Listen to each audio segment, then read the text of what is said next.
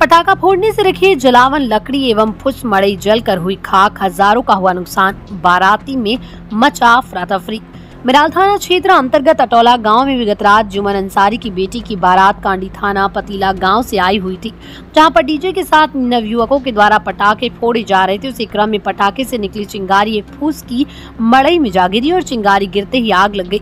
लोग कुछ समझ पाते कि देखते ही देखते आग अपना प्रचंड रूप ले ली। और सब जलकर खाक हो गया। प्रत्यक्षदर्शियों के द्वारा बताया गया कि पर्याप्त मात्रा में पानी नहीं होने से यह हादसा हुआ। अगर पानी रहता तो आग पर काबू पाया जा सकता था।